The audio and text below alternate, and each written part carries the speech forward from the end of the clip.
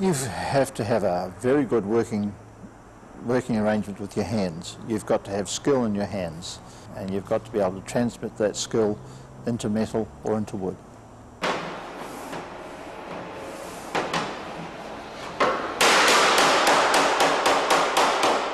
Well, unless you have an eye for shapes and, and, and unless you can visualize what a job is going to look like when it's complete, you really don't have much hope of applying yourself to a job.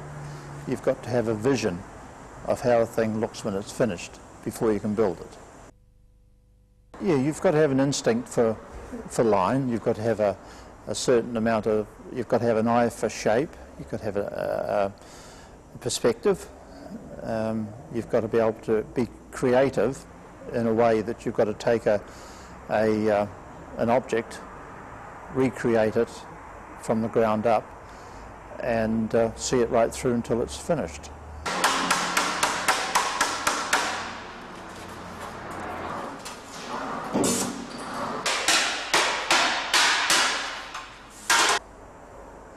It's a bit like, I suppose, when a sculptor sees a model of something, he looks at it, he puts the, his brain goes to his hand, he creates with his hands, with the brain informing him what to do. And to a degree, it's, it's what we do when we build a motor car. Metal, as long as you treat it properly, uh, will do most things for you. Um, you've got to be careful with it, you've got to be gentle with it. Um, if you start abusing it, then it's like everything that you abuse, it's going to bite back at you. It's not going to do what you want it to.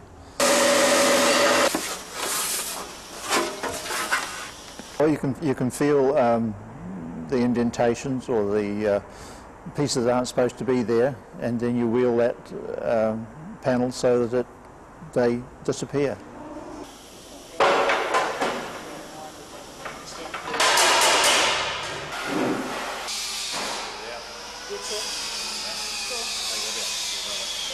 My father was a coach builder for, before me. He was a coach builder before the war and uh, I trained with him and I trained my own son.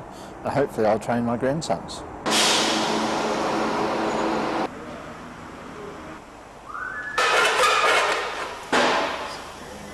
It's a family trait.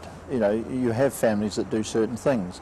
Uh, we go back generations with farriers and blacksmiths and uh, wheelwrights on both sides of the family. So it, it's sort of a skill that must come through somewhere. If you have generations of people that work with their hands, then it must be easier. We were lucky enough to come through a period of time when this sort of car was built in a coach building shop and we've just continued on with the old-fashioned uh, type of construction, old-fashioned methods, upgraded our technology in the welding and the uh, mechanical lines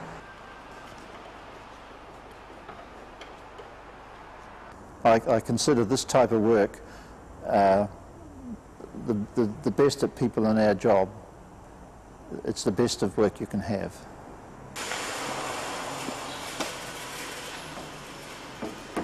As a coach builder, I can appreciate the lines of a nice motor car, and if people want them, we try and manufacture them for them.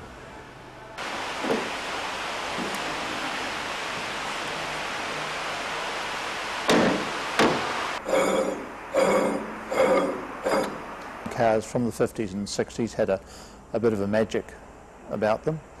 Uh, cars later than that lost that magic as far as shape was concerned, and it's not until now that it's going back to that same era with more bulges, more sweeping lines. Our cars have got to be right first time, dead right, and that's the way we build them.